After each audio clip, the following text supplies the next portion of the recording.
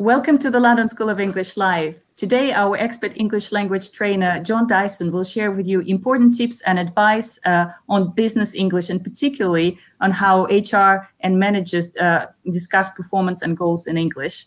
We hope that you find the vocabulary and expressions from this session useful in your own business English. You can ask your questions in the live chat next to the video uh, throughout the live stream, and we will answer them during a Q&A session at the end. Here with us today, we also have our colleague Faiza Afzal, who has a great deal of experience in this topic, uh, and uh, she will take part in our Q&A session too. Uh, before we start with the main content, uh, Faiza will share some information about our English training in London and online. Faiza, over to you. Thanks, Olga. Um, hi, everyone, and welcome to today's live stream. Uh, thank you so much for joining us, and we hope that you find the session to be useful. Uh, as Olga said, we have a variety of courses for our clients um, who would like to specialize in business English or even English for HR. Um, so we have our business English course, which is delivered at our centers um, in London. Uh, you can take them face to face. Uh, we reopened about a month and a half ago, nearly two months ago now, and have been welcoming students uh, we have a virtual course as well uh, that's offered for three hours a day on an intensive basis uh, for one week. And um, that's also available in different time slots if you'd like to join us from different parts of the world. We have a Business English Express course, um, and this is ideal for people who might be working on a regular basis but would like to still improve and maintain their business English language. Um, that's delivered twice a week in 90 minute sessions on Tuesdays and Thursdays, covering different business topics. Uh, many of our clients come to us for specific purposes. They might work for in a specific field like oil and gas or in the pharmaceutical sector or in technology. So we offer a variety of courses that can be tailored for specific purposes. Um, they can be delivered face to face in our center in London, or it can also be delivered online, um, sometimes as part of a combination of a group course. Uh, and then you do some one to one training or otherwise just one to one training overall. And then we, we also have a specific course for um, English for Human Resources. And this is targeted at human resources professionals. Um, it covers all the language that they would need, including the some of the language that we'll cover here today around appraisals and feedback. Um, but it also looks at um, you know, different writing uh, skills um, when it comes to kind of writing performance evaluations um, or email communication or telephone skills for interviewing and recruitment style as well. So that's an intensive one week course that we're running face to face in London on specific dates. Um, you can find all of those courses and more information on the website at the link that Olga's got for you there. Great. Thank you very much, Faiza, uh, for this introduction. And uh, of course, uh, we can talk uh, more about this at the end of the live stream. But uh, for now, uh, Jon, great to have you here with us again for our Business English live stream. And over to you for the main content. Okay. Thank you, Olga. Thank you, Faiza. Hello, everyone. My name's Jon Dyson, and I'm a business English teacher here at the London School of English. I'm delighted to be with you this afternoon to talk about a subject which affects all of us in one way or another human resources, and in particular, performance appraisal.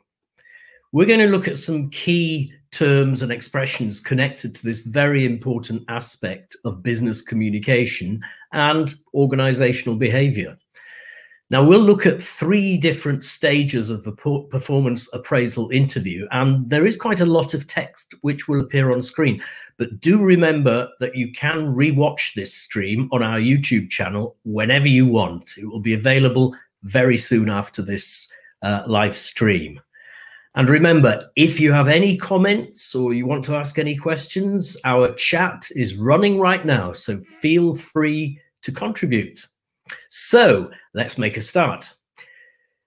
To begin with, uh, I'd like to do a little bit of groundwork with a group of general terms related to the area of HR and performance management. First of all, I'd like to look at the difference between three terms. These terms are evaluation, review, and appraisal. Now, an evaluation is really looking back. Very often, people do evaluations at the end of courses. So, for example, it may be filling in a, a form or writing some feedback. It is generally speaking a numerical and quantitative way of giving feedback because it's easy to process that way. A review is really looking back and reflecting on the way that you have performed certain tasks, the way you have behaved. And when we move on to appraisal, which is the, the word we're really focusing on here, there are three elements to this. First of all, there's looking back.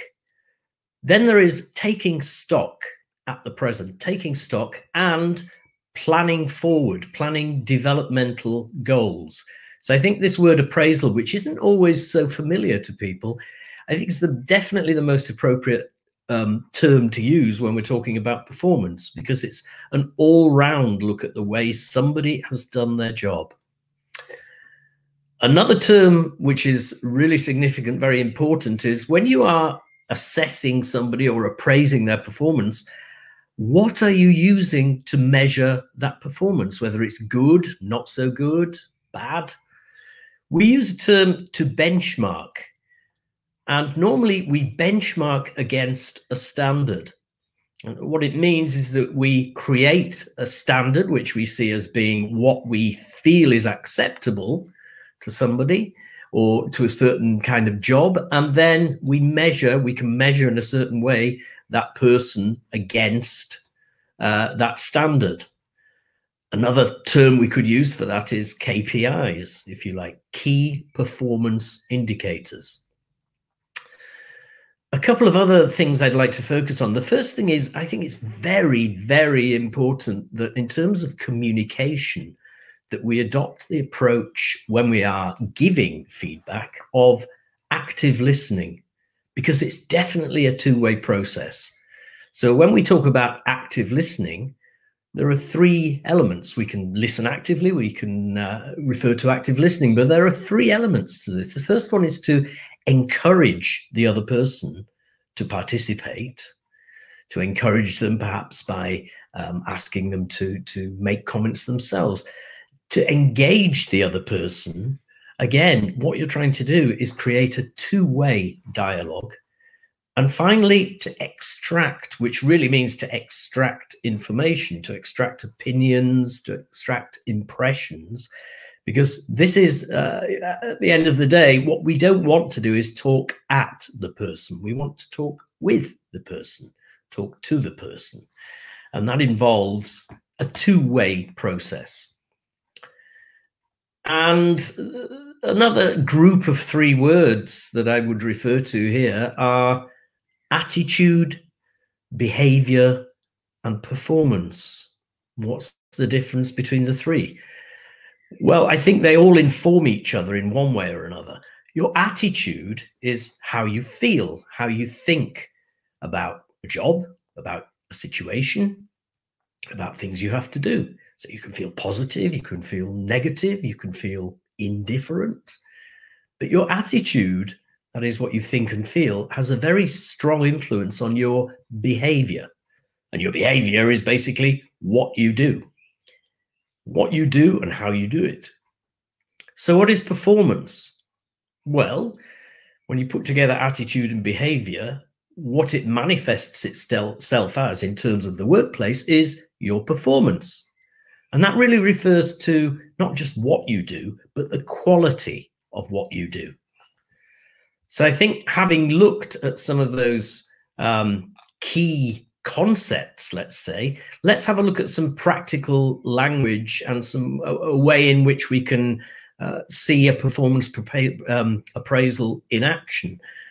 We're going to look at a typical performance appraisal interview at three points the first part is at the beginning, the second is somewhere in the middle, and the last dialogue is towards the end when we might be wanting to establish some um, developmental goals. So here's the first dialogue at the beginning of the interview. And it's between two women, a woman called Barbara, who is the HR uh, manager, and Julia, who is the employee. So Barbara welcomes in Julia. Hi, Julia. Come in and take a seat. Thanks, Barbara. Barbara, now this is your six monthly performance appraisal. And what I want to do is firstly look at your overall performance. Then we can talk about more specific parts of the job you've done. Finally, we'll create a personal development plan for you moving forward. Is that agenda good for you? So as you can see in that first part of the dialogue, we've got a very clear structure to the appraisal. So it's very clear to the um, employee in question exactly what is going to happen. It's general, it gets more specific, and then looking forward, it's moving to the future. Julia is happy with that. Yes, that sounds okay to me. Barbara continues, great. So I usually start by identifying what we see as your strengths and weaknesses. That way, we can reinforce the strong points and address any weaker areas. So there's a couple of points to look at there strengths and weaknesses. Um, strengths from the adjective strong, um, and the verb to reinforce strong points, to make stronger, to, to, to drive those forward, and in a way to celebrate them, to say, you know, there are always good things you can find about even the worst of employees. And address weaknesses, address any weaker areas. So we address a problem, we address an issue, we address a situation. So that's a useful verb to use there. Uh, Julia says, Will I get the chance to make comments too? And Barbara responds, Of course, feel free to come in at any time. We very much want this to be a two way process. So I think in that final part of the the this first part of the dialogue we can see that barbara is setting the terms of the interaction if you like and she's making it very clear that this is not a one-way channel of communication and that uh, julia is very much a participant. Okay moving on to the second part of the first dialogue. A little complicated isn't it? The second part of the first dialogue this is a little later in the interview, and Barbara is just finishing off a sentence saying, We see you as a very highly motivated and helpful member of the team. You really live our core values. Highly motivated, helpful, both very positive adjectives, and living the core values. So the person behaves and the person acts and speaks and communicates in a way which is taking forward what the company considers to be important. Core values are the fundamentals of what the company stands for. Very, very common nowadays. When you go to company websites, you will see a lot of references to our values because it's what people expect nowadays. And Julia says, Well, I'm very happy here. Barbara compliments her to compliment. That shows I just have a couple of concerns about your time management. Your manager, Tom, commented on your reliability. It isn't a big problem, but on some occasions you've missed deadlines for submitting documentation to colleagues. So there we can see that uh, Barbara talks about concerns. She doesn't say worries or problems or uh, something rather more dramatic like that. She says concerns. Now, you could say, well, that's a little bit too indirect if it's a really big problem. I think we have to be very careful about how we phrase information which could be perceived as being negative. It is honest feedback, but I think we have to be careful with our use of language here. And the issue is time management, which I think is a very common problem. Uh, people have a lot of priorities. People don't always do the things they need to do straight away. Um, so it's not a question of competence and it's not a question of attitude. It's simply a question of being able to manage your workload. So it refers to deadlines and documentation. And Julia goes on, Oh, yes, I know I need to improve. And Barbara reinforces by saying, And you can improve. So very positively oriented.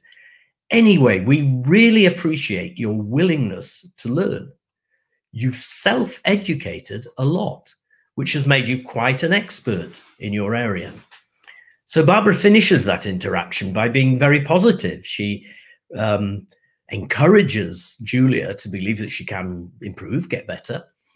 And she also makes uh, a reference to two things willingness to learn, which always important in an organization, and also the fact that she's made an effort by studying herself, by finding out more about her subject area.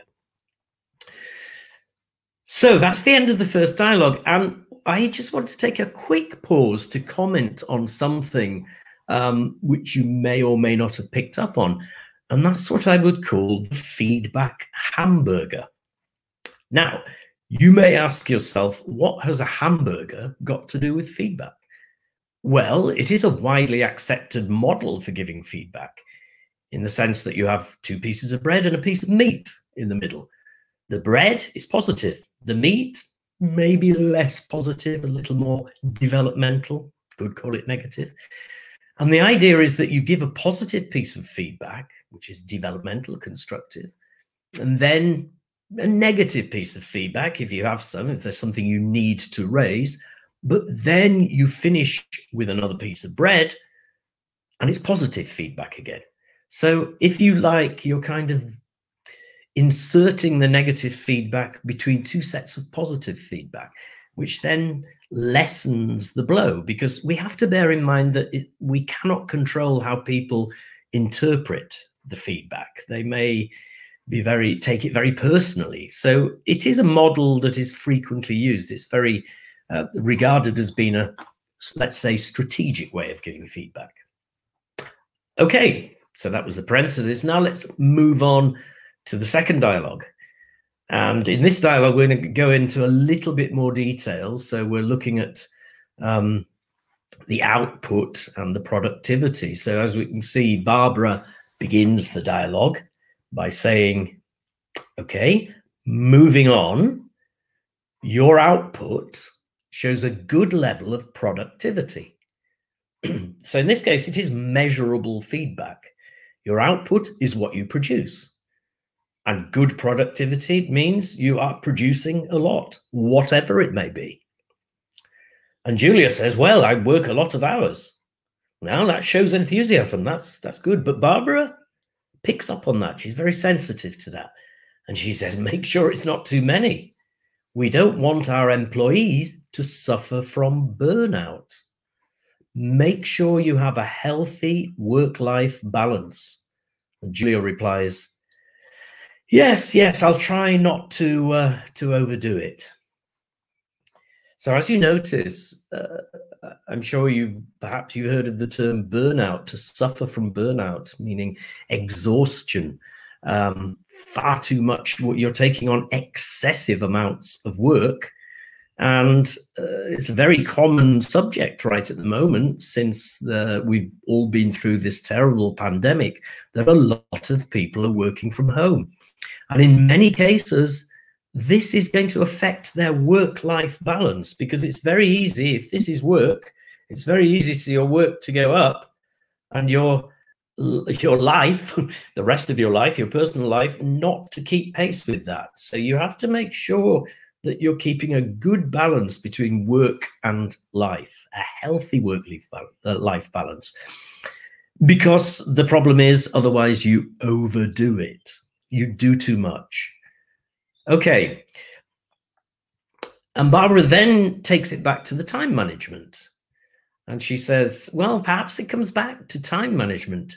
You are very effective, but sometimes you need to be more efficient at it at times. So, as you can see, we've got two words which very often people use interchangeably. Personally, I don't think they are exactly the same thing. I think effective means the result is good, the effect is positive. So you can be very effective, but maybe you need to be more efficient. Efficient means are you doing things in the right way? And the one often goes with the other.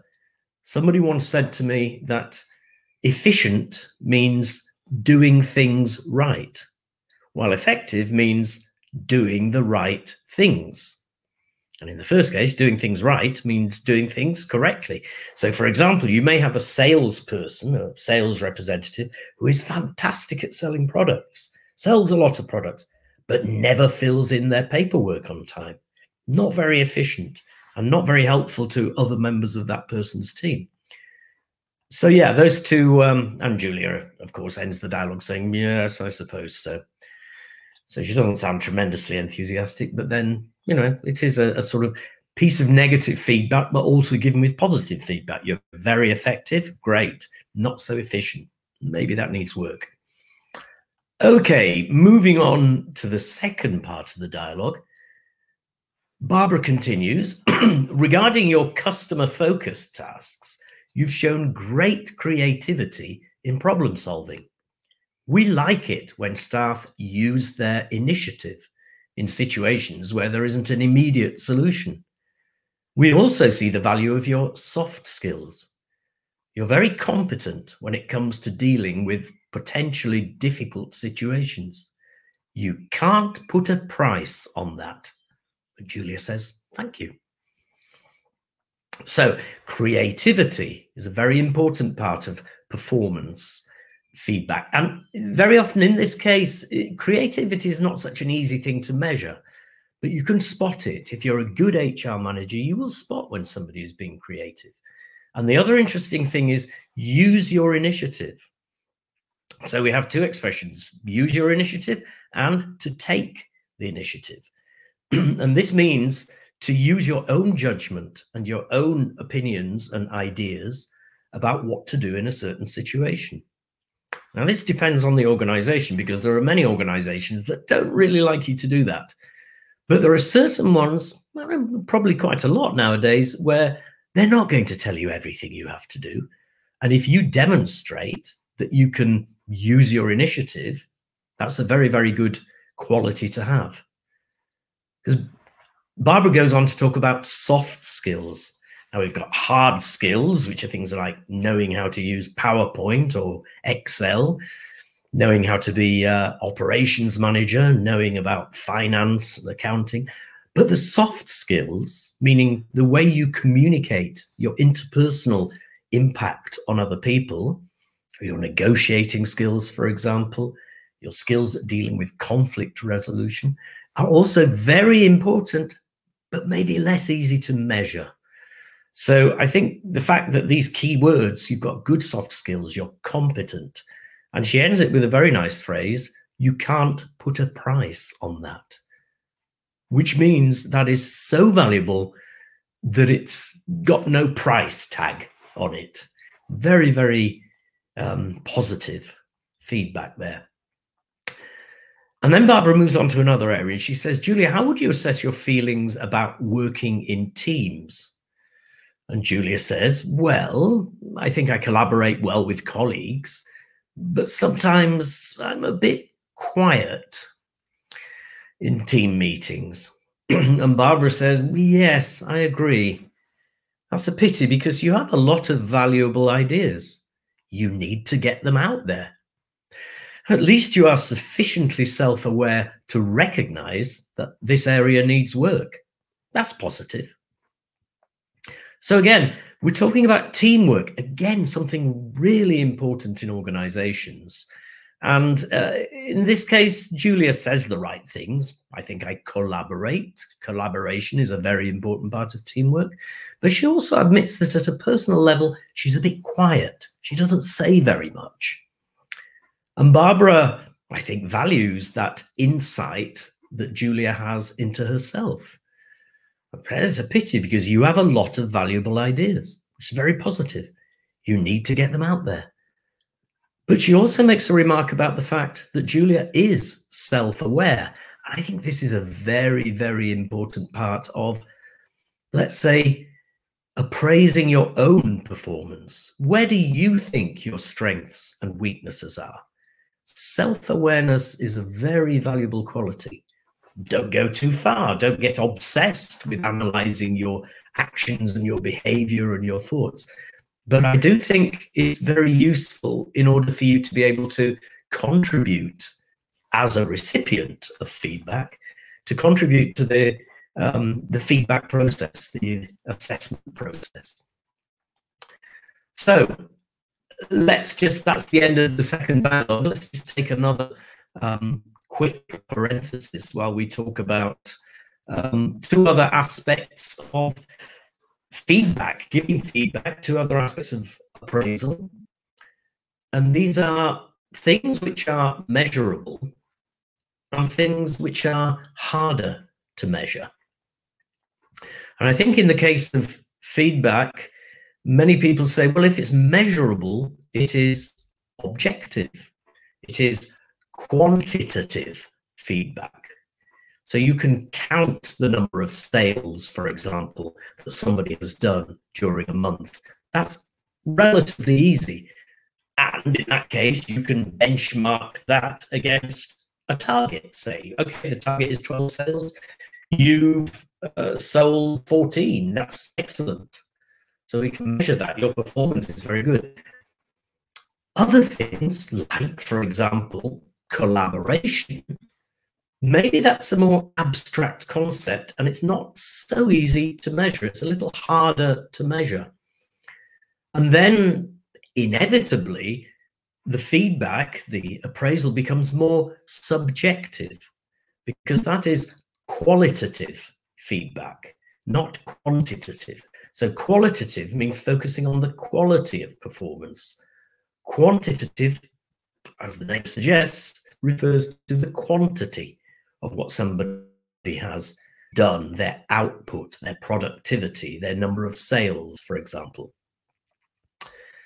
Okay, we're going to talk about, before we go on to the third dialogue, which is talking uh, towards the end of the interview, we're just going to focus on a model which many of you may have heard of, but we'll have a look at it in a little bit of detail. And this is called SMART, SMART Objectives. Now, SMART Objectives, uh, the, the letters each stand for something.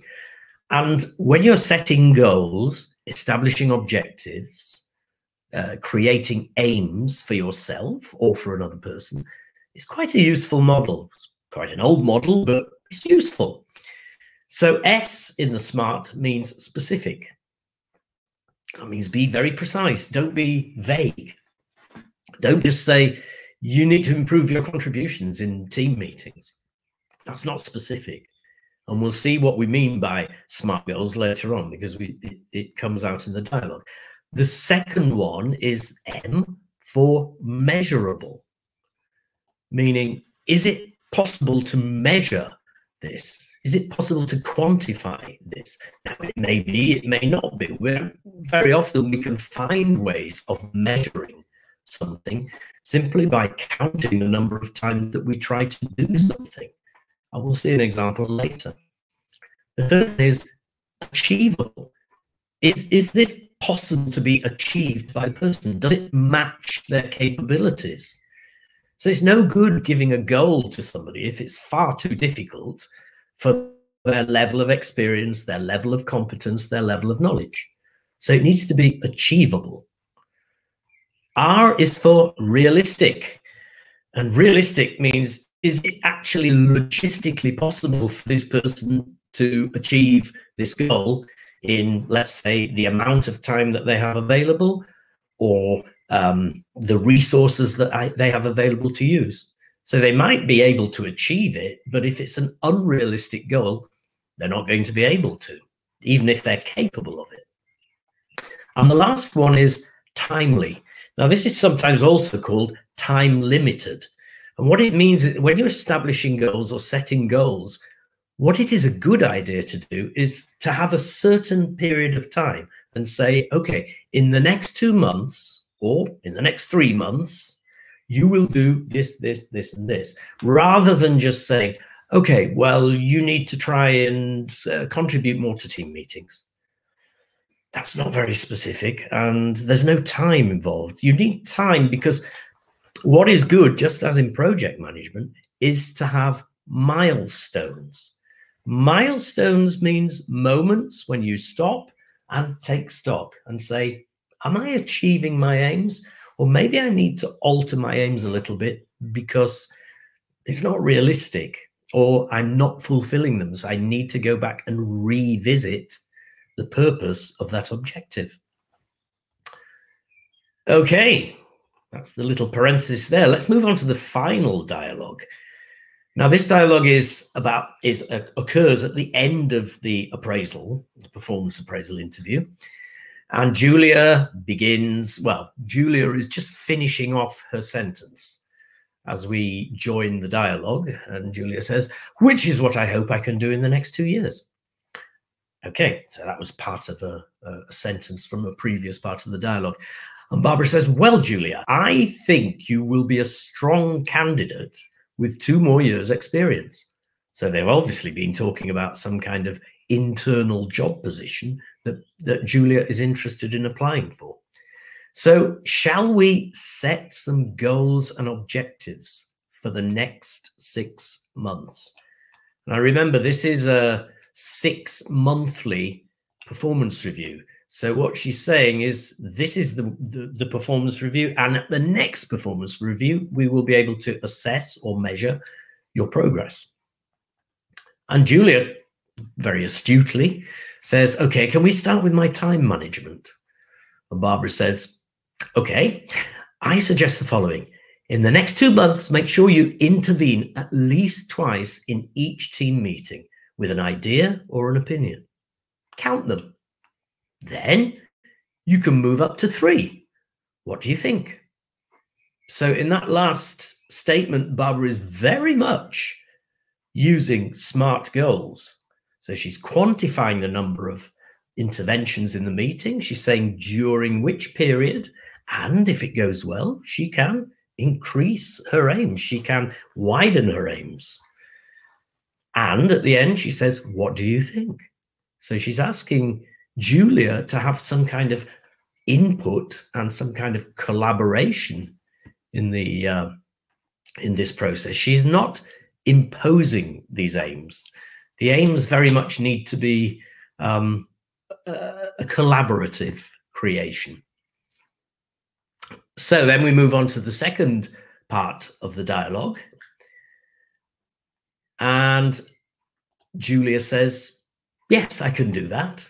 It'll give me a focus. And Barbara looks for more. What else could you do? And Julia, who we could assume is feeling quite relaxed and engaged in this process because she's coming out with some good ideas. She says, Well, another idea I was thinking about is perhaps I could meet with Tom every morning for 10 minutes just to establish my priorities for the day. Now, if you remember, Tom is Julia's line manager. So she's she's generated this idea that it would be good for her time management, which is at the moment it's a little bit of an issue. That if she can do that, she can prioritize what her workload for the day. And I think this is uh, a very important concept of ownership when we talk about owning something, it means it belongs to us, it is our possession. And the idea of ownership in this case means if you suggest the solution, you are more likely to fulfill that solution because you own that solution. It's not a solution that somebody has given to you or bought for you, you own it. And Barbara is suitably impressed. It's a good idea. I think that would help a lot with your time management to prioritize your daily tasks so that you can organize your workload. So there we've got priorities, the verb to prioritize, daily tasks, and organizing workload, which, if you like, are the nuts and bolts of everyday work we have a workload and we need to decide in what order we are going to carry out our daily tasks. Right, so we reached the end of the dialogue. Good, I think we've covered a lot of ground this morning. Well done, Julia. Let's meet again in six months' time and assess your progress then, as well as praising your successes. So there you are, a positive ending which creates a good feeling as the employee ends the interview and departs. Yeah. And remember, we've got that verb praising, and that's the verb to praise means when somebody does something good, if you're in a superior position to them in an organization, you're a manager, you should praise them. Well done. Excellent work. That's a really good job you've done there, Jon. I'm praising myself here. So, to praise, uh, ask yourself is your organization a praising organization? Do managers thank you if you've done something really good? If you've performed above expectations? It says something about an organization's culture if this is a praising organization. Because I think when you say to somebody, well done, then it makes them feel better about their performance. So I hope that that uh, brief overview of performance appraisal in the human resources management sphere has given you plenty of food for thought. Food for thought. Have a little think about it. And remember, if you want to comment, feel free. That's the uh, the end of my presentation. I will hand you back to Olga.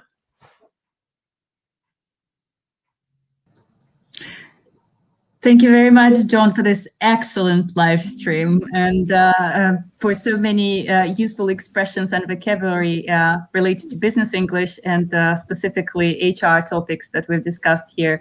And uh, I wanted to call out um, a few people in our live stream saying, Anna Maria Chiampa is saying, very clear lesson, thank you very much. Rafael is saying, interesting and very well done, thank you. And P. Uh, Gibson. Uh, so I'm sorry, I, I don't know your uh, name, but I appreciate you doing this. Um, and yeah, so that's really great. And we also have our alumni here.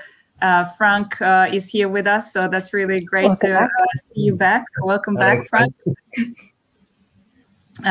so um, so uh, just just to say uh, to our viewers that as usual we would be very happy to answer any of, the, of your questions related to business english or learning english in general or specifically regarding this topic of hr english.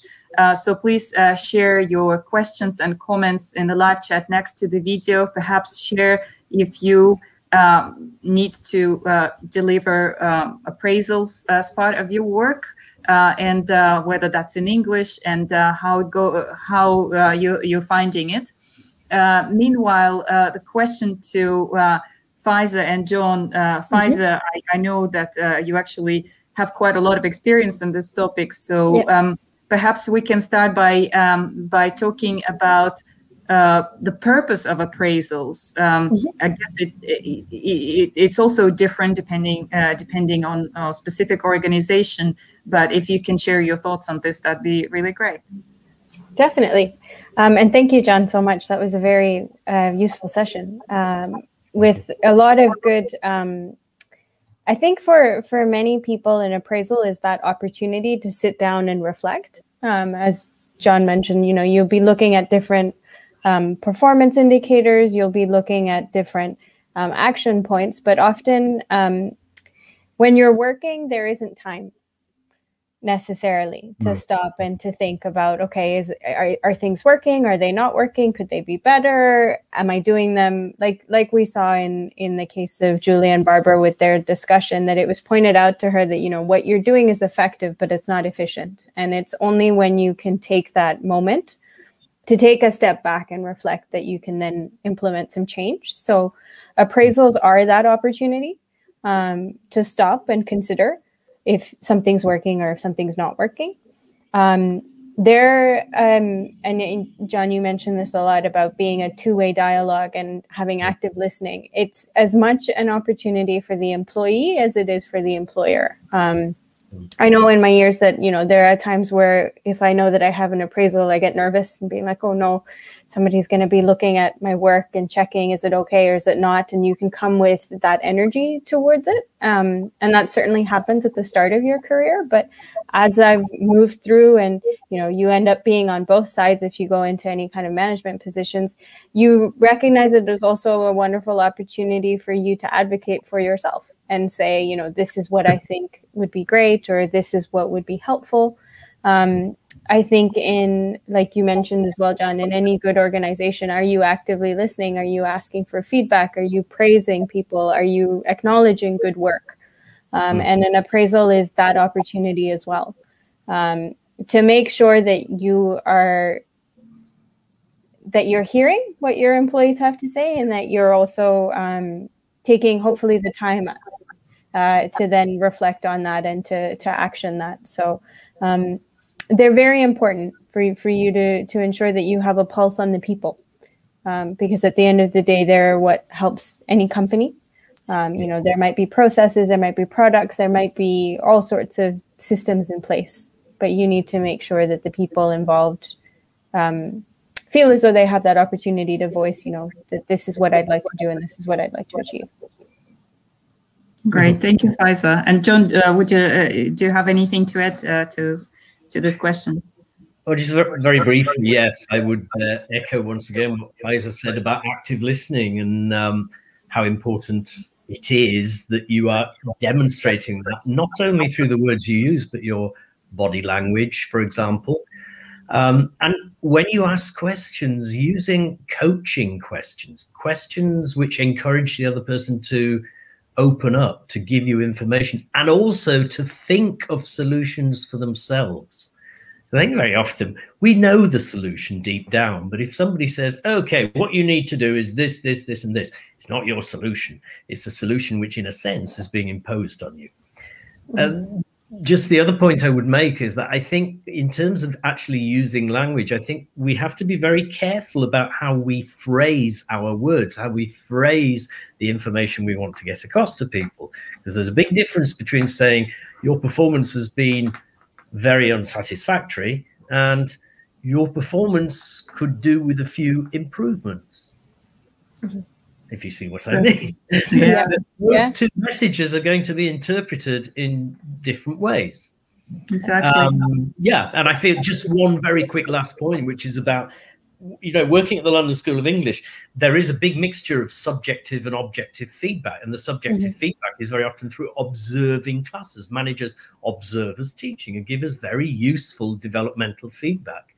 Uh, the objective part of it is much easier to measure, and they can say, mm-hmm. Jon you forgot to fill in your class attendance sheet three times last year.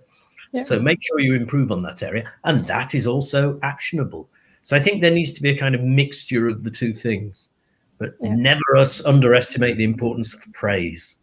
That's, yeah. that's, that's great. Thank you, Jon and Faiza. And uh, I think it's uh, also important to uh, to mention that, of course, uh, the London School of English is not just uh, English vocabulary and expressions. It's actually uh, it's actually helping people to uh, improve their communication skills and knowing uh, how to um, how to express themselves uh, depending on the context and the situation.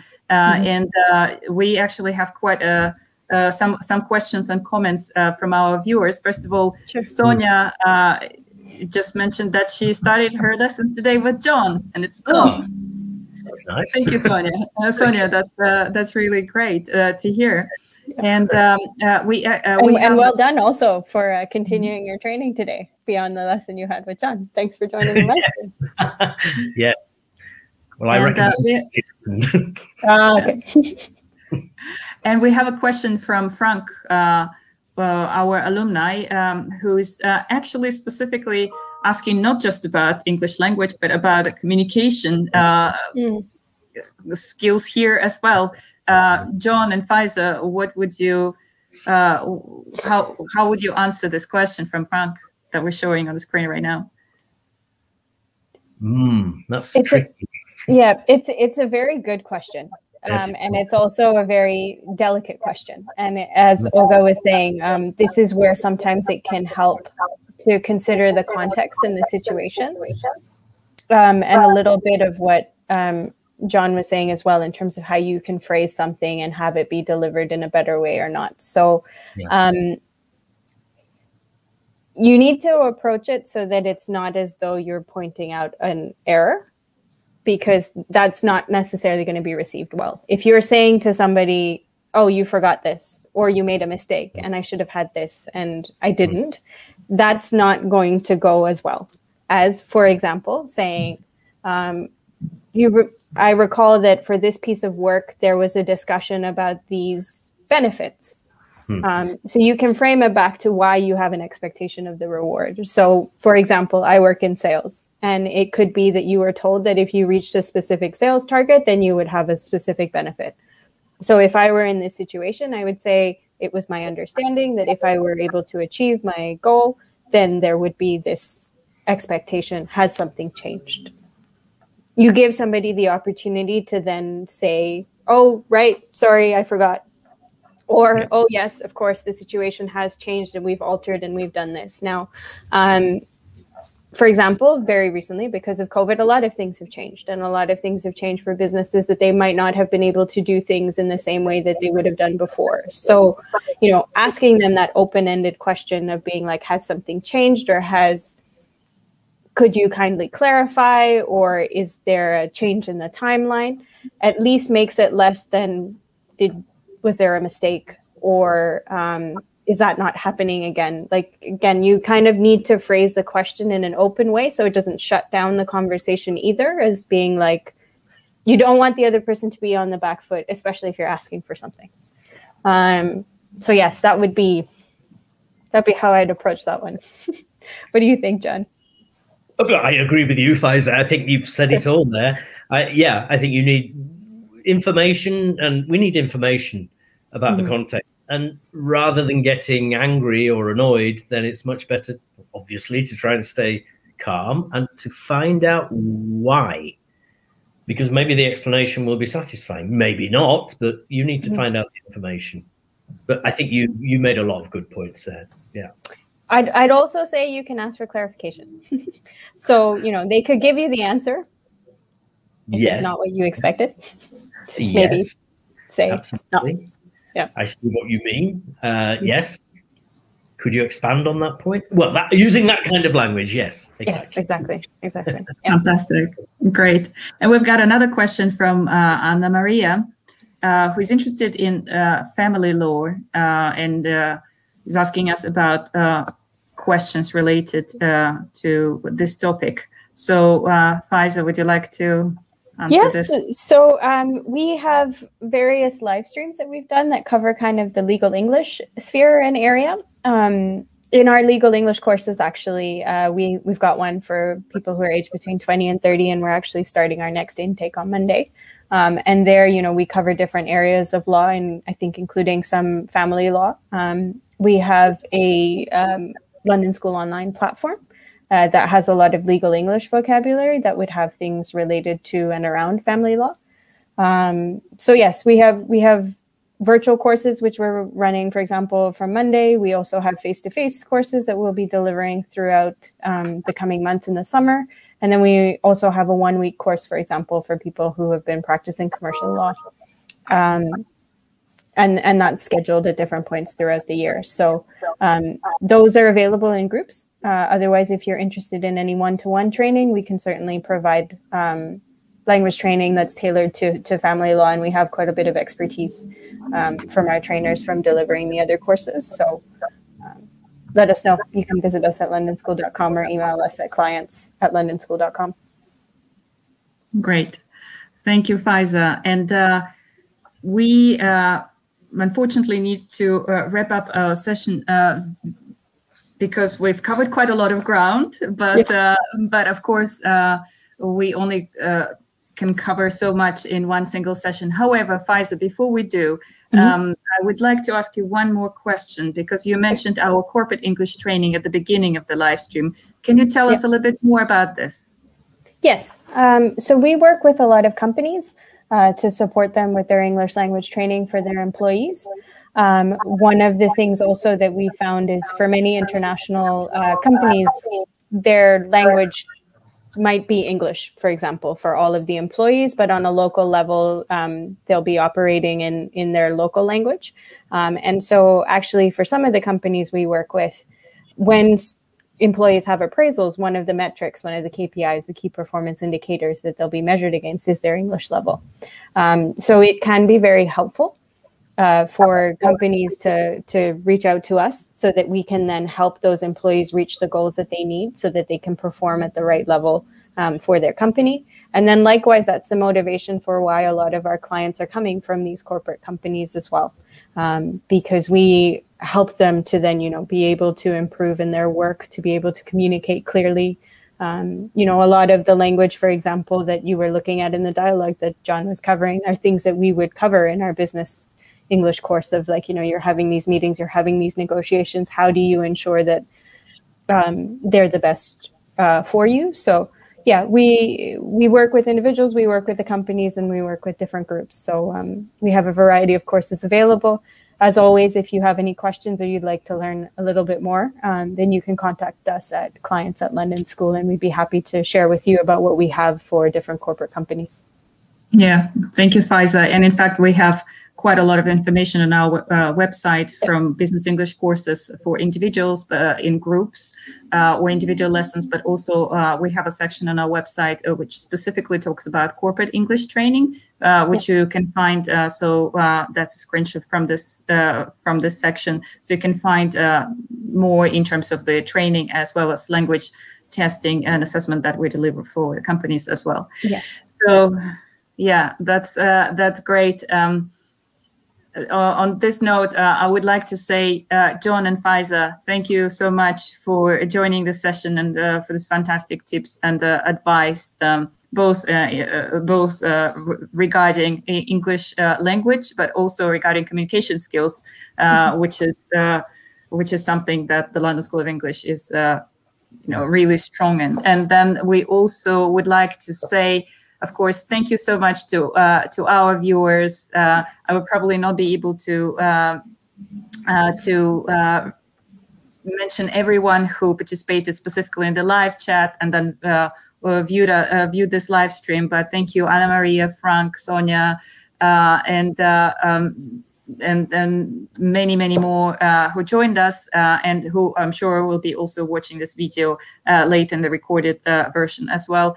Thank you so much. And uh, we hope that you have a wonderful uh, rest of the day. And you can always come to us with any questions related to English training, or whether that's business English, general, or corporate English training. So we hope to see you soon. And thank you again for today.